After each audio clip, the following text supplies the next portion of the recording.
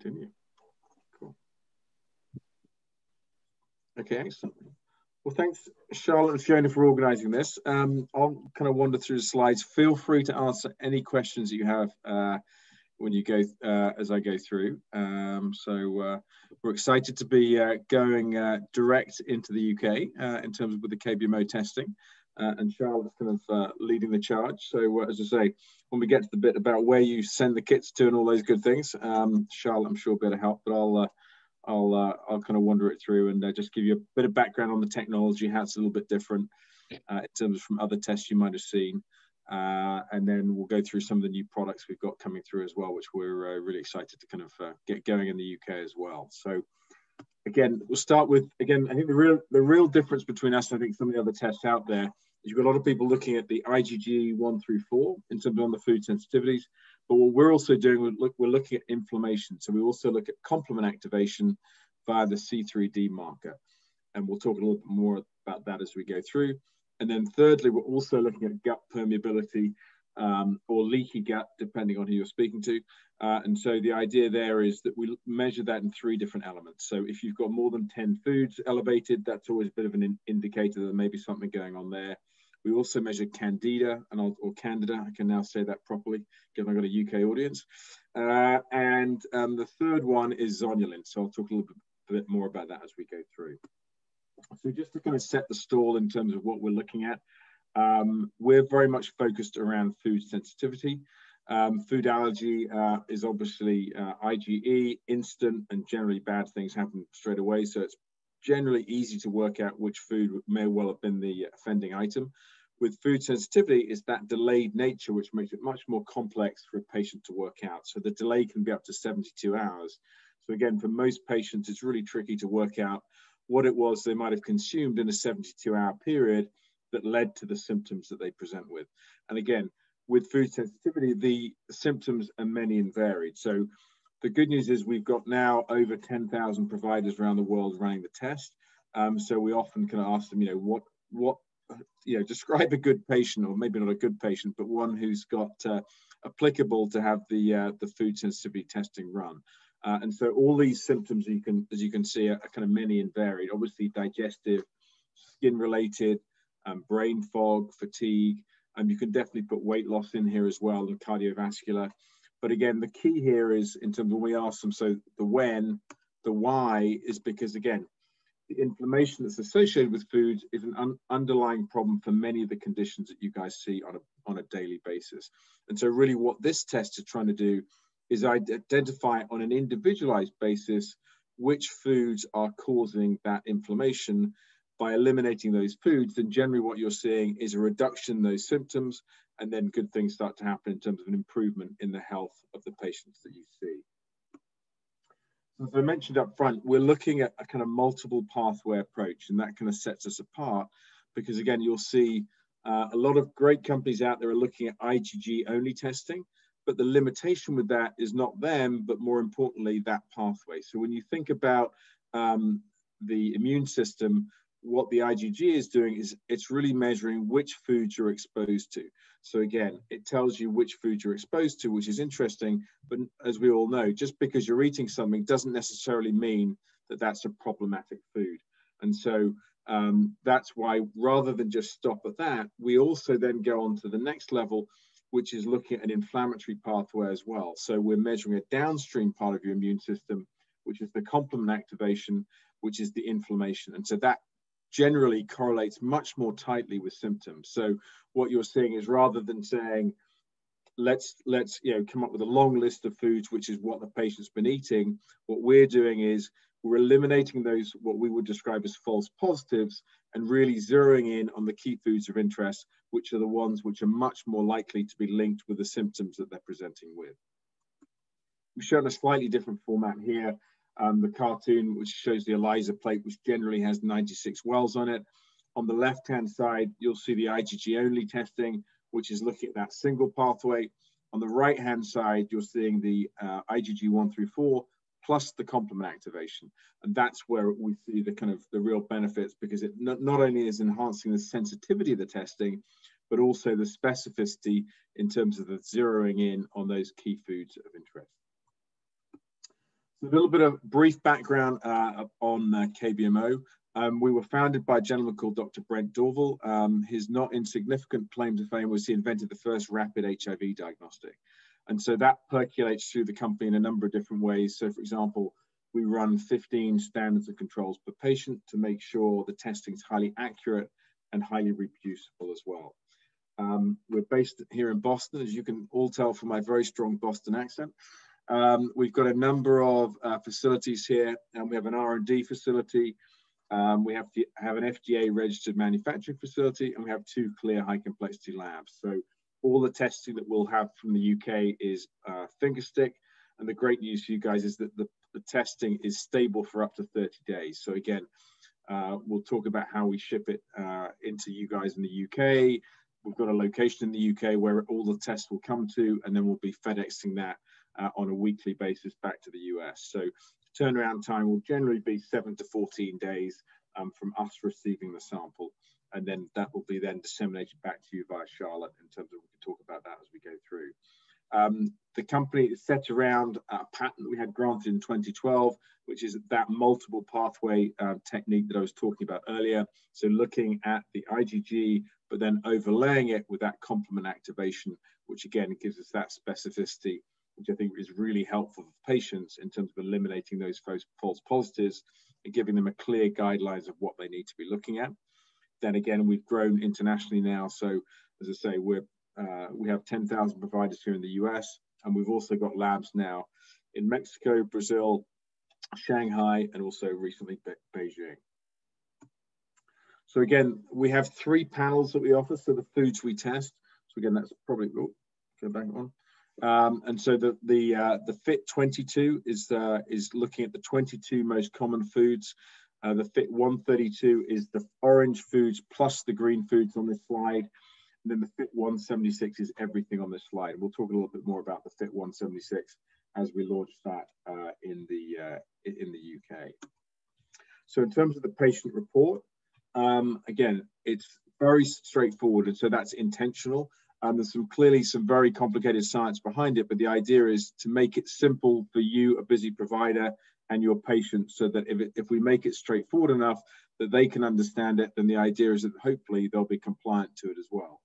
Um, one of the other key differences we've got is colorings and additives, and we're measuring those as well.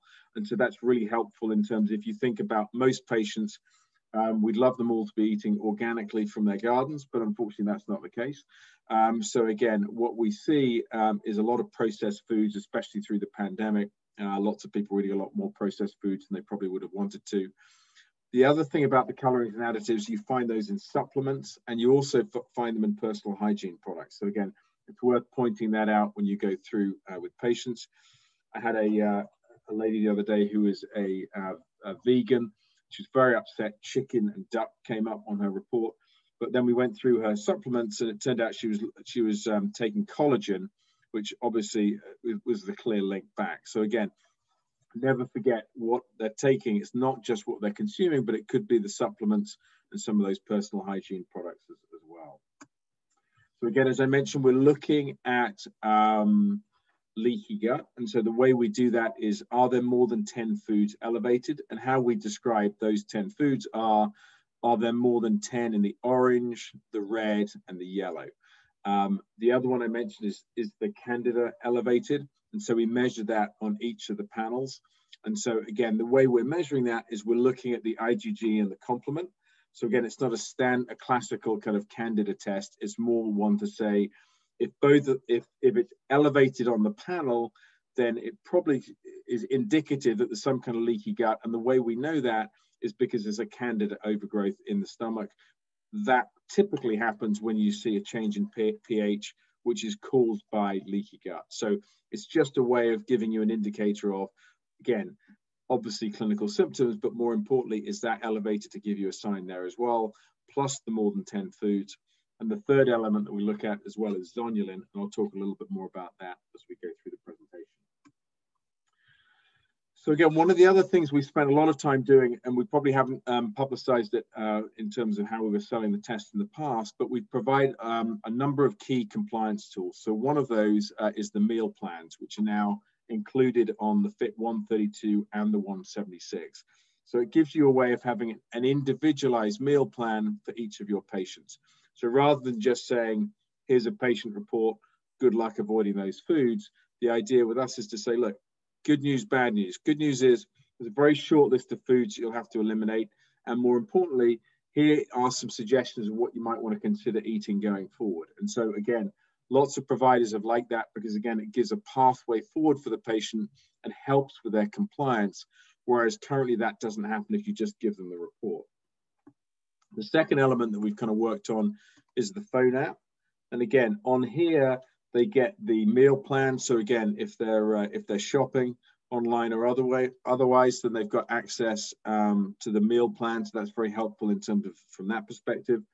We show them their full test results. So again, if they want to check those out, they're there in terms of as importantly what they were sensitive to, but more importantly, what they weren't sensitive to. So they can see that full list and they have easy access to that, access to that on their phone. The other element um, as well is we've got the, um, you know, people love to share this with their friends and family. So we found that re really helpful in terms of the referral tool for your for, for the practice is, you know, what else is going on and, you know, and they'll talk to their friends and family about it. For each of the foods they're sensitive to, we also give them what that might cross react with, where they might find it, and alternatives and substitutes as well. So it gives them just a little bit more information, but just about the foods they're sensitive to. We also have a provider's guide, which has that for all 176 foods, colorings, and additives that we test for. And Charlotte will be happy to send that out to anyone who's interested in getting a copy of that as well. So we have that electronically, and that's a really useful guide in terms of going through that with patients. Generally, what we say with cross reactivities we don't generally introduce that to patients straight off the bat on the basis we've done a great job of narrowing it down to the key foods. So let's not necessarily burden them with too many things around cross reactivity to start with. But if they're not seeing an improvement, and maybe it happens in 10, 15% of patients, then at that point, look at reintroducing the kind of the whole concept of cross reactivity at that point. So again, the pricing here in the UK, um, the wholesale price is clearly what you guys are paying and then the recommended retail again that varies in terms of you know what you would suggest. Um, the ones in red um, are you know another thing we've introduced is um, to give you guys an opportunity to try the test yourselves. Um, so there's a discounted test for uh, um, for, for, providers and kind of friends and family or you know people who are working in your office. So the idea is the more people who've tried it in the office makes it much easier or more more likely um, for them to be able to kind of um, explain the testing to their uh, to the patients that you guys see. So uh, that's a new thing that we've added, uh, as well as the pricing has uh, we've decreased it by about 50 pounds a test. So again, the idea is to pass that on to the providers, uh, and again, uh, hopefully that'll make the testing a bit more attractive to patients um, who are looking at getting the food sensitivity testing done. Uh, all uh, products can be drop shipped, and uh, Charlotte's in charge of that. So again, um, she's happy to kind of uh, walk anyone through who's in interested in getting uh, drop shipping uh, kits to each individual provider or patient, more importantly. So the billing and ordering, again, there's really two ways we do it. Um, you know, there's a month that you can pay bill, bill, monthly, so you can pay us at the end of the month. So again, we can ship kits out, and then those can come back to us. And then the other way is again, if we're drop shipping kits directly to patients, generally we're asking for payment up front on that. But again, Charlotte can walk people through that in terms of how she's doing that on an individualized basis uh, in the UK. And again, uh, we'll update this slide with uh, Charlotte's details, um, but you can always contact us in the US. Um, maybe not before lunchtime, but after lunch, uh, we're probably dangerous in terms of being helpful. So again, in terms of the uh, some of the new products that we've developed, uh, we've got the Fit 132, uh, the 176 we'll talk about, zonulin, and also the FAST test in terms of one of the newer uh, in-office tests that we've developed as well. So in terms of the Fit 132, um, we've made some changes in terms of taking some of these foods off that maybe have been on there historically for a long time and added some things which I think are a bit more relevant. Um, certainly in terms of the whey, whey protein, I know it's certainly here in the US, we have lots of people drinking whey protein shakes. So again, it's important to kind of call that out in terms of when you think about that as a dairy product. Obviously quinoa, lamb, sea bass, and butternut squash as well. Um, we haven't, we're just really launching it now, but uh, into the UK uh, is the Fit 176. And so the idea with this was uh, we worked with over 150 providers to try and get an idea of what else they'd like to see included in the panel, um, given that you know people's diets are changing kind of in a pretty a pretty rapid pace. So after working, as I say, with those 150 people, we came back with this list of an additional 44 foods. So I think some of the highlights are some of the ancient grains we've added, certainly in terms of sweeteners, so stevia, monk fruit. As we've discussed earlier, a lot of these patients are inflamed, so we've included the three main fish, which are included uh, in terms of omega-3. So again, we want to make sure that that's the case. Um, I'm not sure if CBD is uh, is legal yet in, in, in the UK, um, but uh, in the UK in uh, in the US it's legal in pretty much every state now. So again, we're testing that because again it's been widely prescribed. So again, we want to see how people respond to that. Um, and what we found so far is that this additional panel works really well for kind of almost two very disparate groups of patients. So patients who are very very healthy they're eating a lot of these things on a regular basis anyway, in terms of whether that's chia seeds, Brussels sprouts, kind of kale, these types of foods. So they want to be tested for those. But what we've also found is for patients who are certainly post-pandemic are looking to have a major reset in terms of the types of foods and diet that they have, then this wider um, list of foods has been really helpful from the meal planning side that we can provide them with. So again, that's where it's been interesting for us to see like anything, whenever you launched it out um, to all our providers, they come back with some really interesting feedback. And so I wanted to share that with you in terms of the types of patient who've really enjoyed using the, uh, the bigger panel. So then moving on to zonulin, um, we introduced this a number of years ago, um, and really because we really like the fact it's a great marker for intestinal permeability. Clearly, most people who are running a food sensitivity test, they're looking to heal the gut. So let's give you a marker of intestinal permeability as part of the food sensitivity testing we do. The other thing we liked about it is it's reversible. So again, the patient isn't doomed if they have elevated zonulin. It just gives you a very clear way or pathway forward in terms of um, the kind of treatment regimen you might want to consider. So clearly removing the foods and then putting them on, on some kind of gut healing protocol but there's a lot more logic when you suggest that if you can show them their elevated zonulin results, especially when you kind of build into the fact that it is a reversible test. So again, the good news is if you're compliant, then you'll see uh, a difference in terms of the results that you get. And thirdly, um, an elevated zonulin level, yes, is highly indicative of some kind of leaky gut, but more importantly, it's also a bit of a canary in the coal mine for overall health. So what we're seeing is um, when you went through the kind of uh, clinical literature recently, all these disease states were also linked with elevated zonulin. So again, kind of important to look at it from a perspective of a bit of a canary in the coal mine when it comes to overall health if they've got an elevated zonulin level. So again, in terms of a bit probably like our food sensitivity test, we've looked at coming up with a next generation zonulin test and working with kind of the best in class uh, within that so again, if you haven't heard um, uh, Dr. Alessio Fasano speak about zonulin, um, it's definitely worth uh, a kind of scroll through, uh, you know, uh, some of the kind of studies out there because he's really entertaining and really breaks it down into a very straightforward way for people to understand. Um, so again, he discovered zonulin and its links with leaky gut about 20 years ago. And so he's really excited to see this new assay that we're developing and especially because rather than focusing on the antibodies, it's it's highly specific to the zonulin protein. And so that's really the key here is it'll give you a very highly specific response. Is that zonulin present or not? And that's not frankly the case with some of the assays out there today. So again, um, this we're hoping to launch in kind of September, October time in the UK. So as we do, um, again, Charlotte and myself, we look forward to kind of, uh, in, you know, letting everyone know about that coming out the neat thing I think, um, more importantly for you guys as providers, is we're going to include that on all three of the panels that we offer.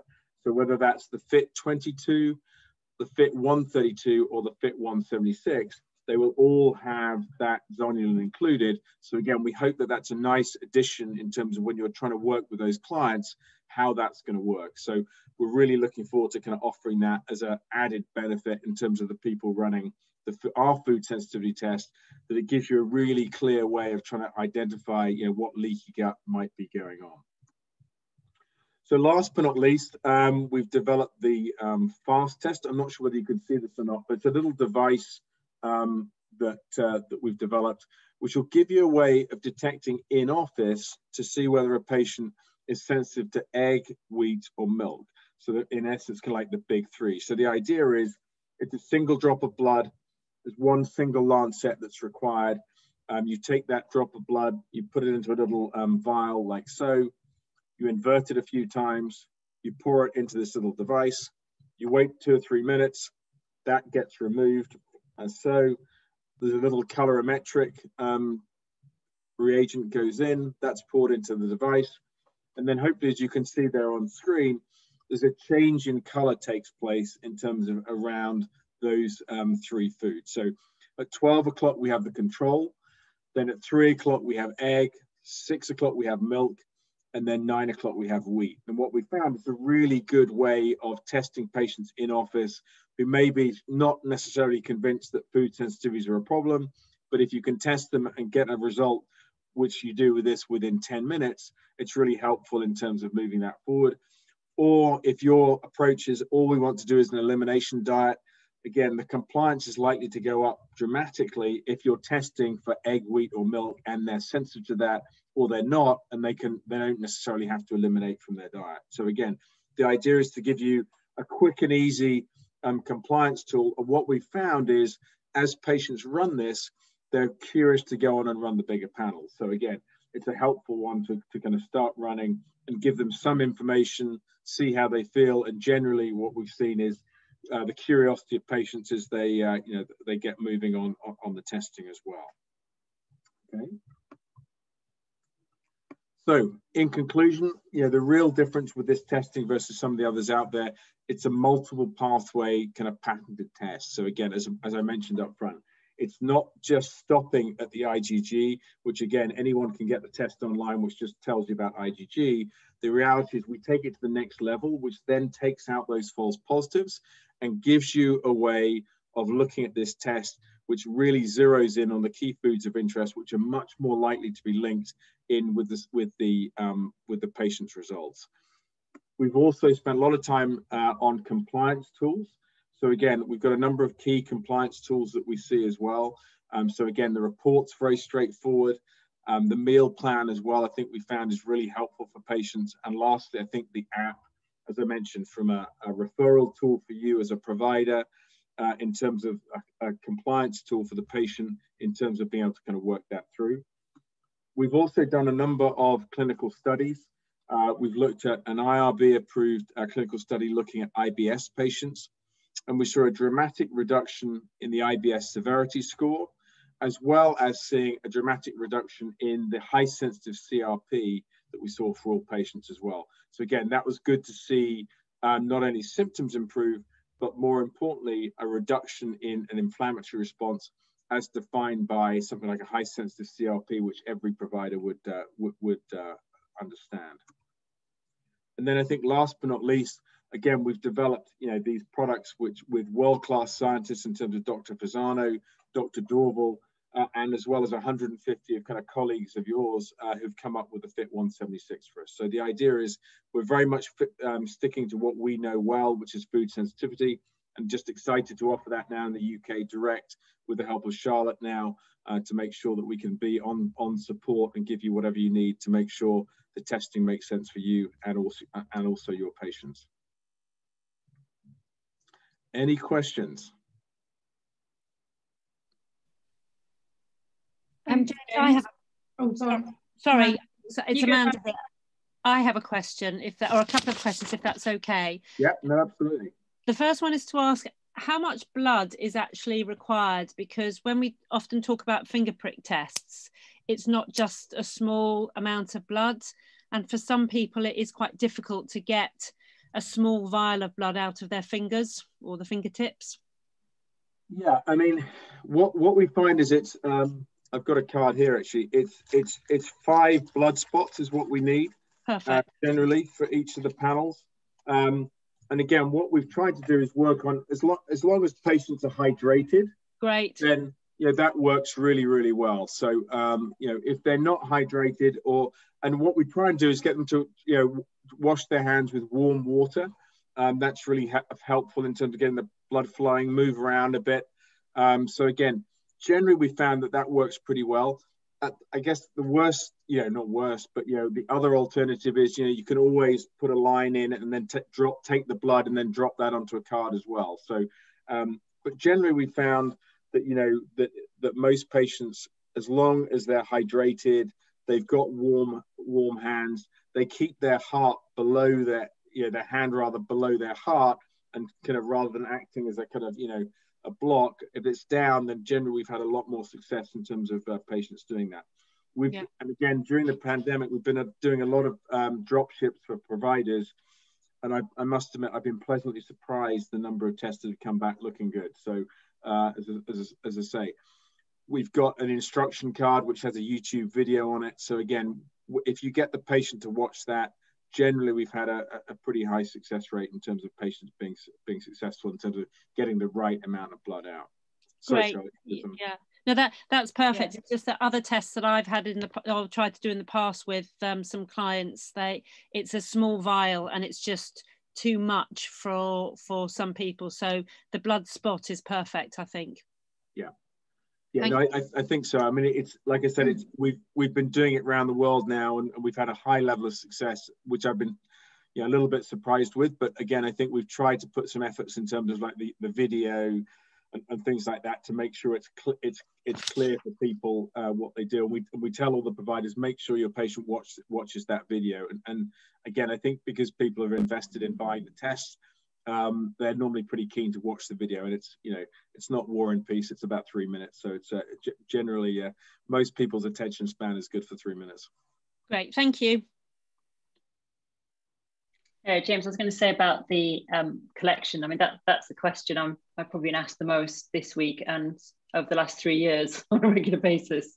Um, and I think a lot of a lot of the other labs, um, Amanda's right that they're using those little tiny plastic files where you have to practically milk your finger, then you with a bruised hand. And if you think, you know, I've got to do that for several tests.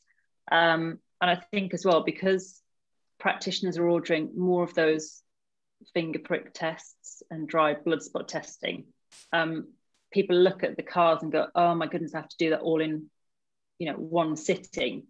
But, you know, as, as James said, you know, you can, the, the card's very stable. Um, and also, you know, after a warm bath, you'll be amazed at how quickly the blood comes out of your finger. But if your hands are cold, um, or you've just got out of bed, or your blood pressure is a bit low, you, yeah, it is going to be quite difficult. But I think if you have a warm bath and you move around, it's amazing how much will come out. And you don't you don't need huge amounts if it's just the spots on the card.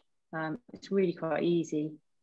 Um, we've also got a question um, asking if you have a client who has already done IgG testing, would you retest IgG and complement via the fit test?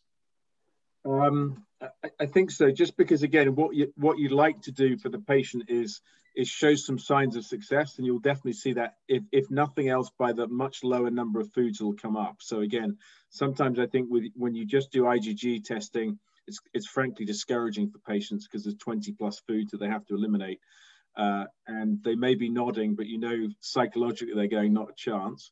Um, so the, the reality here is, I think, because because you're adding that inflammatory pathway, I think there's a lot more logic for a patient to do it. And so again, if you have to have that discussion with the patient, look, you know, no, you didn't necessarily waste your money just doing IgG, but the reality is, you know, we've just come out of a pandemic. We're all recognizing that we want to make sure we've got our immune health is as good as possible. So what this test will help you with is trying to identify which foods are causing you that inflammatory response. And what we've all recognized, you have to keep that inflammation down. So that's why you should run this test versus just be kind of maybe not so happy with just doing the IgG on its own. So when you look at the IgG plus the complement, you're focused on something which will give you, which will be looking to help your and aid your immune health versus just looking at food sensitivity. So I think that's a huge difference in terms of how you position that versus what's been going on. And as I say, here in the US, you know, nothing against the IgG only companies. It's more a, a an issue with the pathway than the companies. But the reality is, you'll end up with false positives because all you're me- measuring is what you're exposed to versus what you really want to know is which ones are actually having an impact on my symptoms, and that's i.e. which ones are causing an inflammatory response. Mm. James, I'm a, I'm a classic example of that. I've done just IgG a year apart, and I think I was probably 25 to 30 one year, and then I was over 50, probably close to 60 the following year. And yeah, um, yeah I mean, I was just not compliant at all. You can't cut out that many foods. And when I looked down them, it was just everything I was eating a lot of. So it's kind of like you can't, and I, you know, I don't eat dairy and I don't eat gluten, I don't eat other stuff. So it's like suddenly asking somebody to take out a ton more food. It's impossible. Yeah, as I as I used to not really joke, but say it's you know it's bread and water. Oops, no bread. Um, so you know yeah, that's, that's, basically what you were getting down to, and, and so I, I think, as I say, it's discouraging, and, and I think frankly, from a provi- provider standpoint, it doesn't pass the red face test. I mean, you know, if you're telling a patient to take out that many foods, I think it's, you know, A, you know that that's not frankly accurate, and B, you know, it's from a psychological standpoint for the patient, as I always, you know, talk to providers, your job is more of a, a psychologist nine times out of 10 in terms of telling them, that this is what we're trying to do, this is how we're going to move you forward versus necessarily just giving them a, a report and expecting them to kind of follow through on it. So, um, I absolutely agree, Fiona. I mean, that's basically the difference here is that we're we're giving you that additional tool and piece of information which helps guide you, know, you through the process, whether that by actually getting you down to the key foods that are linked back to your symptoms, and then the compliance tools on top of that. Because again, I think generally people want to be compliant, but as you say, even in your case, know, there's no way you're going to take 25 foods out of your diet. And that's, you know, that's not a reflection on you. That's just a reflection on, like I said, it's that pathway is the issue, not the companies uh, or, or, the patients who are being made to run them. Mm. The, other, the other question I had was around what's the kind of timeline for how long you should be having eaten something before it just wouldn't come up because you're not eating it. So for like we get a lot of clients that are already off gluten and dairy. Um, yeah, that's a great question. I mean, generally, generally, what we say on that is, you know, we, we don't suggest people, you know, if whatever they're currently eating, you know, we're trying to test you to see what's in your current diet that is causing you the symptoms that you're wanting to come in and see a provider for anyway. However, you, you give a great example as people now who've taken out gluten or they've taken out dairy. And so generally what we suggest is, you know, if they want to test those foods, you know, and as I say, I would say 90% of patients are the ones where don't change anything. But if some people have taken, you know, those groups out, reintroduce them, you know, 72 hours before you're going to run the test, run, you know, in, eat them, have some kind of exposure to them in that time period, run the test, and then hopefully we'll be able to kind of from that give you a good indication of, you know, have you healed the gut sufficiently that you can now actually, you know, eat, consume some of those foods on a more regular basis. So that's generally what the advice we give. But the, the vast majority of patients, you know, will say like, just don't change your diet. We're trying to get to the kind of what is it you're currently eating is causing the symptoms that you're presenting with, uh, you know, when they come in and see you. Okay, thank you.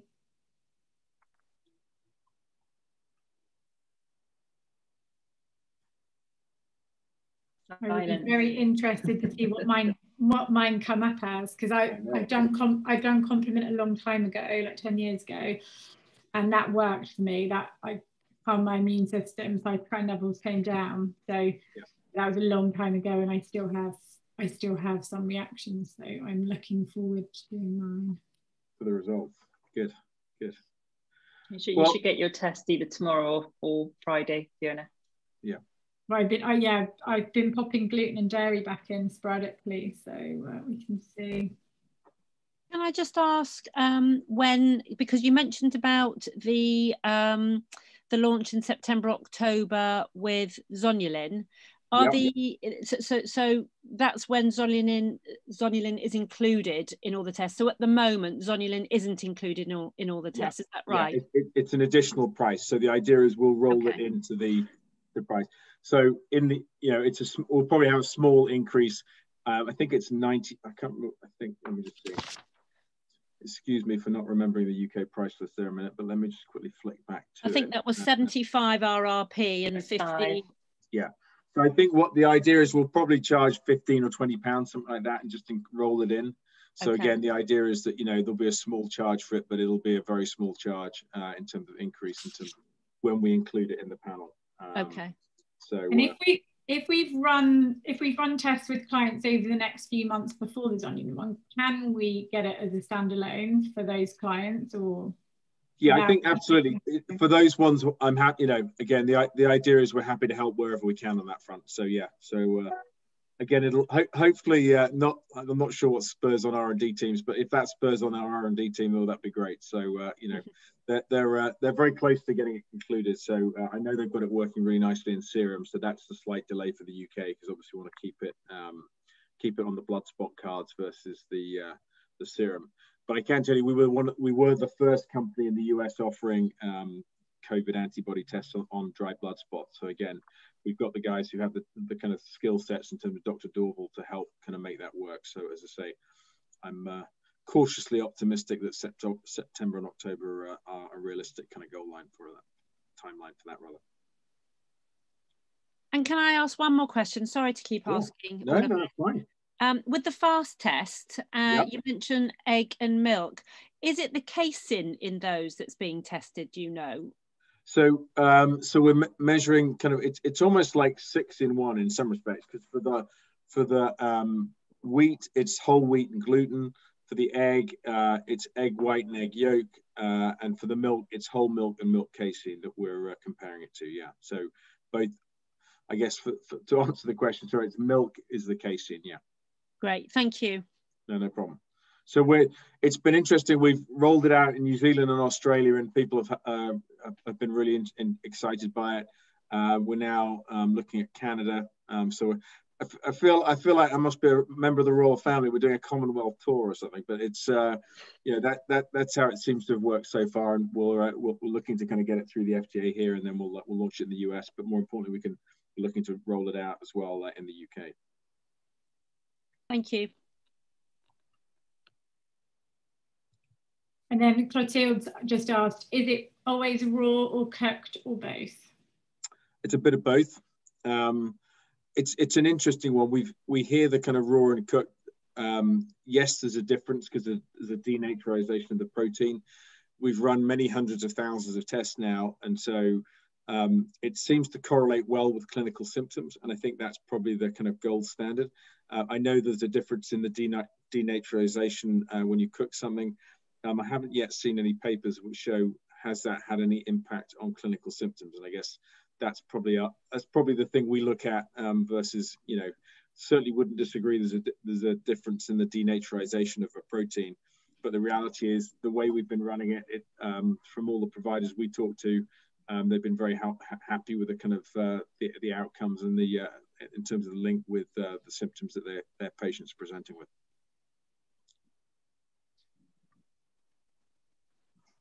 I think the for, for me, um, what I really like about this test is um, the simplicity, it's straightforward, it's easy to understand. But I think um, it, it's the cost um, as well. You know, I think if you compare what you're getting in the 176 compared to similar tests on the market, only compare their prices. I mean, they, they're, you know, worlds apart.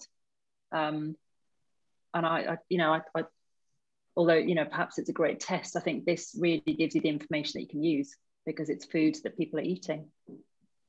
Um, and I think the inclusion of things like chia and goji and coconut oil is is absolutely brilliant. Mm. Really, really good. And I think for some of the other tests, I just can't convince clients to pay like one thousand five hundred pounds, especially not when a lot of money this isn't the only test I'm normally recommending. Yeah. You know, you're mm. usually, if you're doing this, you're usually doing a stool test as well. And then Charlotte and I, we're quite often putting the Dutch in there as well. And I think it's, you know, you can't expect a client to spend over £2,000 in total on tests. They just mm. don't have that kind of budget.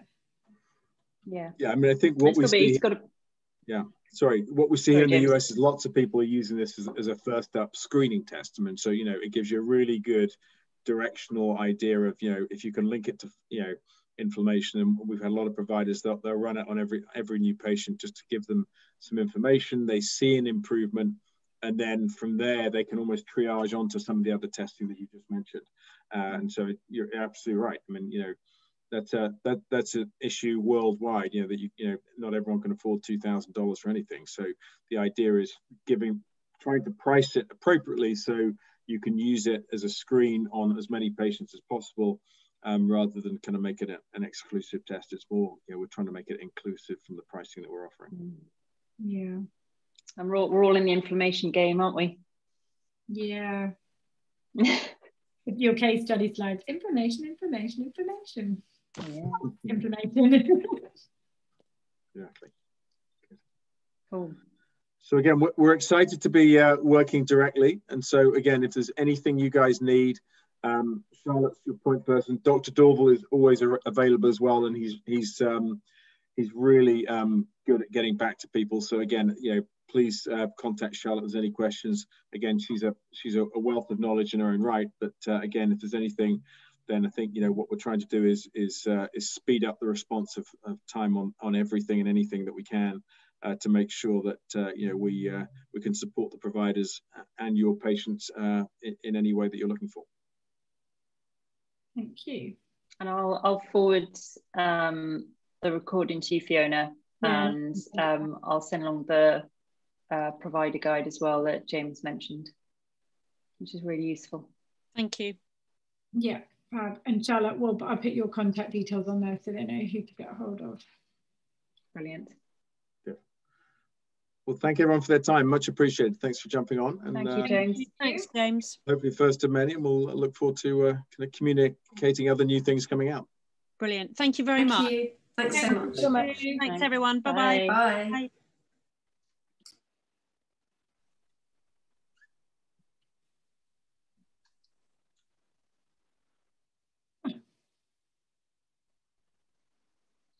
went I'm gonna stop. I'm gonna. I'm gonna stop recording.